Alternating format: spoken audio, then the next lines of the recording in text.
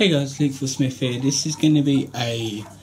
It was going to be an unboxing, but I wanted to put it up because I just got him today, and it's Halloween today, so I wanted to get him up as quick as possible. This is the six foot animated skeleton butler that I got from Asda's.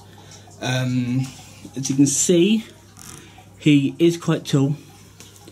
He has a metal base right there and he's one of those things that you have to put together. He's he's, he's a very modular, like little thing. Like you put him in parts. So he has, you put you put the base together. You put the feet on there.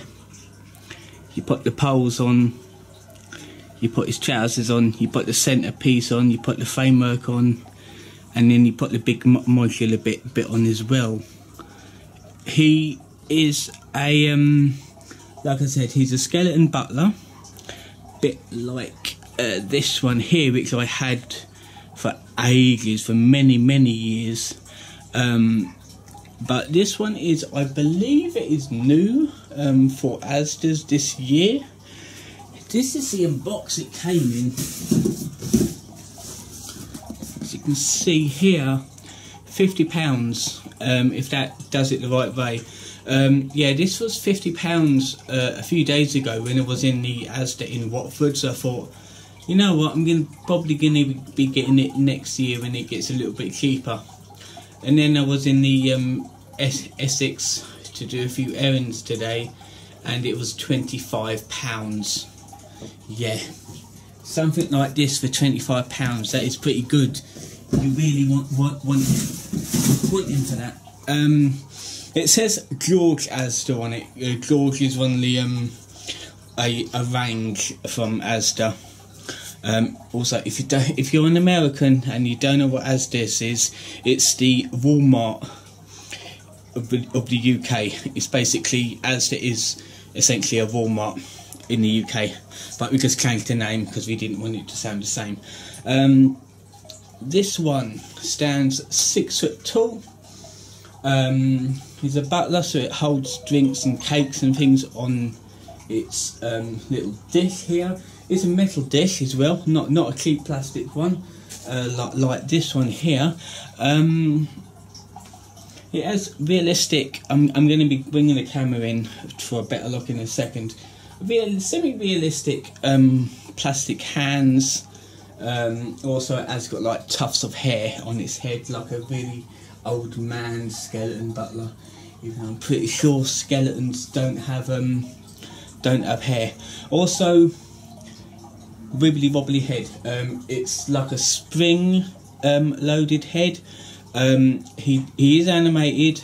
He's sound activated, uh, and I think he's motion activated as well and he does have a little button on his um, on his sleeve where you can push it and um, work it like that. Uh, his mouth moves, and when his mouth moves, his head sort of jiggles about, making it look like he's he, he's re really going at it, moving his head like that. I should have done his bow tie a little bit better. The actual clothing is really good on him, not bad. Um, stained look, like a it's like a silky um, shirt thing that has been sewn into his jacket. Here it's got the buttons and everything. It's like an old stained tarnished shirt, um, so it looks old fashioned. Um, hollowed out eyes, and what was interesting on the box, um, it actually says here. Down here it says um, it is motion activated and um, he makes sounds but this bit here is a sticker and it's covering a word up. I actually took part of the sticker off on the top and um, it was a misprint because it actually said it lights up as well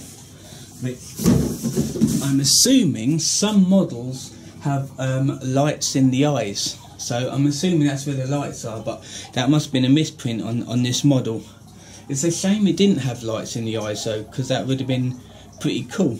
Um, so yeah, I'm actually going to activate him.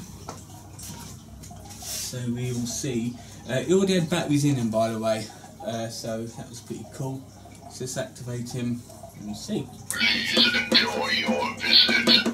It will be a long one. As you can see, his head jiggles when it does it. I think it's Right this way. Follow me to your doom.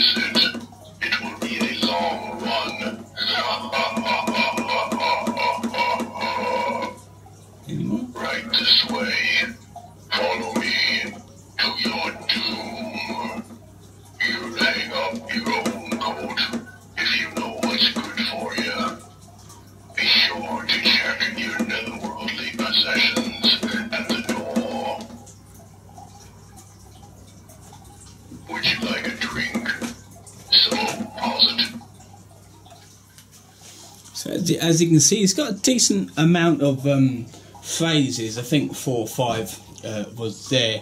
Um, as you can see, the head giggles about and it actually giggles his hands as well. So it's really nice.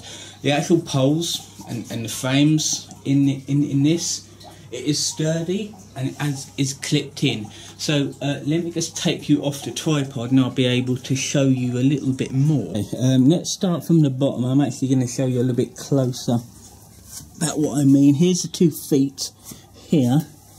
It should be and that side very well. Here's what I mean by the actual um, setup of him. It's one of those basically you clip it in there and it's got little clips so it keeps it in. Same on the other side. And then basically here, don't know if you can see it, it's a little bit dark in there. Um, there's actually like a T shape here. And there's like a plastic pole in the middle that hold, hold the rest of them up, and his little module is in the back of him. Um, so let's have a look at the quality of the hands. Nice, nice, decent quality work here. It's got one under there holding the holding it up, and I just noticed something like this one is more fleshy and human. It's like that one ain't completely rotted yet. And this is basically just put drinks or whatever on there. Um, this arm is posable. Also on here is the um, me switch. Um, here's basically the shirt. You can see it tarnished.